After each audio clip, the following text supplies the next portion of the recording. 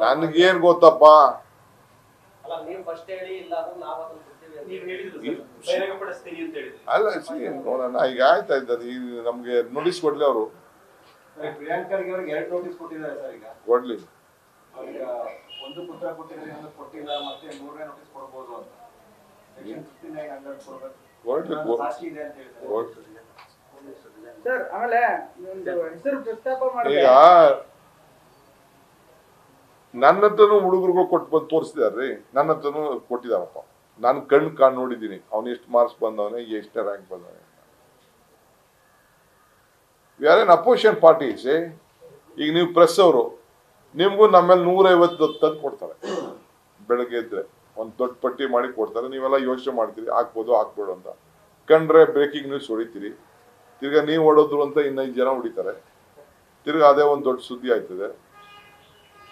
ಹಂಗೆ, ಈಗ ನಿಮ್ಗೂ ನೋಟಿಸ್ ಕೊಟ್ಟಿದ್ದಾರೆ ಈಗ ನೀನು ಅದ್ಯಾವುದೋ ಒಂದು ಎಳೆದಿದ್ದಪ್ಪ ನಿನ್ಗೂ ಕೇಸ್ ಕೇಸ್ ಹಾಕಿದ್ರು. ಆ ಪಟೇಲ್ ಮೇಲೆ ಒಂದು ಕೇಸ್ ಹಾಕಿದ್ರು. ಆ ಪಟೇಲ್ ಯಾವ ಟಿವಿ ಅದು? ಏಟಿ ಆತ ಐ ಥಿಂಕ್ ಯಾವ್ದೋ ಒಂದು ಮೇಜರ್ ಸ್ಟೋರಿ ಮಾಡಿದ್ದ? ಡೆಲ್ಲಿಯವ್ರಿಗೆ ಮೇಲೂ ಅದ ಇವ್ರು ಸಂತೋಷ್ ಸಂತೋಷ್ ಪಾಟೀಲ್.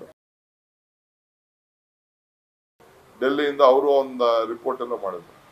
ಸೊ ಸುರೇಶ್ ಮನೇಲಿ ಟೈಪಿಂಗ್ ಆಯ್ತು ಅಂತ ಬೇರೆ ಹೇಳ್ಬಿಟ್ಟು ಅವ್ನ ಸಾಯಕಿನ ಮುಂಚಿತಾಗ ಅವ್ನ ಅರ್ಜಿನ, ಸುರೇಶ್ ಮನೇಲಿ ಟೈಪಿಂಗ್ ಆಯ್ತಂತೆ, ನಾವು ಸೂತ್ರದಾರಂತೆ ಅವೆಲ್ಲ ಏನೇನು ಹೇಳಿದ್ರು. ಅವರು ಸುದ್ದಿಗೋಷ್ಠಿ ಮಾಡಿ ಬಹಿರಂಗ ಮಾಡೋದು ಅಂತ ಹೇಳಿ ಅವರಿಗೆ ನೋಟಿಸ್ ಕೊಟ್ಟರು ಅವ್ರನ್ನ ವಿಚಾರಣೆ ರೀ, ವಿಚಾರಣೆ ಬೇಡ ರೀ. ಆ ಕಂಪ್ಲೇಂಟ್ ಅಲ್ಲಿ ಕರಪ್ಷನ್ ನೋಟಿಸ್ ಇದೆ.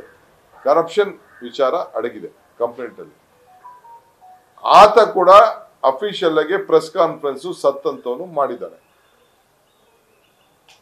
Why A C B has not registered a case this is the question ಆಮೇಲೆ ಚೀಫ್ ಮಿನಿಸ್ಟ್ರು, ಅವ್ರ ಪಾರ್ಟಿ ಅರುಣ್ ಸಿಂಗ್. ಆ ಸಂಬಂಧಪಟ್ಟಂತ ಬೇರೆಯವರೆಲ್ಲ, ನಾಯಕರುಗಳು, ಮಂತ್ರಿಗಳು, ಯಡಿಯೂರಪ್ಪನವ್ರ ಆದಿಯಾಗಿ. ಆ? ಯಡಿಯೂರಪ್ಪನವ್ರ ಆದಿಯಾಗಿ. ಅವ್ರು ಇಲ್ಲ, ಏನ್ ತಪ್ಪು ಮಾಡಿಲ್ಲ, ಅವರು ಈಚೆ ಬಂದ್ಬಿಟ್ಟು ಜಲ್ದಿ ಮಂತ್ರಿ ಆಯ್ತಾರೆ ಅಂತ ಅವ್ರು ಹೇಳ್ತಾ ಇದ್ದಾರೆ. ಆಮೇಲೆ ಯಡಿಯೂರಪ್ಪನವರು, ಅವನ್ ಬಾಯಿ ಬಂದಂಗೆ ಕೆಲವರೆಲ್ಲ ಅಲ್ಪಸಂಖ್ಯಾತನ ಸಿ ಟಿ ರವಿ, ಬೇರೆಯವರೆಲ್ಲ ಯಾವ ಇಂಟರ್ವ್ಯೂಗಳಲ್ಲೆಲ್ಲ ಏನೇನು ಬೈಬೇಕು ಎಲ್ಲ ಬೈತಾ ಇದ್ದಾರೆ. ಒಂದು ಕಡೆಯಿಂದ ಅವರ ಎಂ ಎಲ್ ಎಗಳು ಮಂತ್ರಿಗಳೆಲ್ಲ ಬೈತಾ ಇದ್ದಾರೆ. ಯಡಿಯೂರಪ್ಪನವ್ರು ನೆನೆ ಹೇಳ್ತಾ ಇದ್ದಾರೆ, ನಾವಿಬ್ರು ಅಣ್ಣ ತಂದಿರು ಅಂತ. ಅವ್ರಿಗೆ ಯಡಿಯೂರಪ್ಪನವ್ರಿಗೆ ಶಾಖ ತಲುಪಿದೆ ಅವ್ರಿಗೆ. ಶಿವಮೊಗ್ಗದಲ್ಲಿ ಏನು ಈ ಗಲಾಟೆಯಿಂದ, ಈ ಒನ್ ಫಾರ್ಟಿ ಫೋರ್ ಇಂದ ಈ ಇದರಿಂದ ಏನು ಮುಂದಕ್ಕೆ ತೊಂದರೆ ಆಗ್ತದೆ ಅಂತ ಅವ್ರಿಗೆ ಶಾಖ ತಪ್ಪಿದೆ ನನ್ಗೆ ಗೊತ್ತಿದೆ.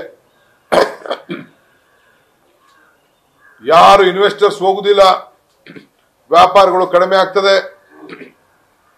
ಉಡುಪಿಗೆ ಮುಂದಿನ ದಿನದಲ್ಲಿ ಯಾರು ವಿದ್ಯಾರ್ಥಿಗಳು ಹೊರಗಡೆಯಿಂದ ಹೋಗಿ ಹೆದರ್ತಾರೆ. ಎಲ್ಲ ಇನ್ಸ್ಟಿಟ್ಯೂಷನ್ ಆಲ್ ಇಂಡಿಯಾ ಈಗ ಎಕ್ಸಾಮಿನೇಷನ್ಸ್ ನಡೀತಾ ಇರೋದು.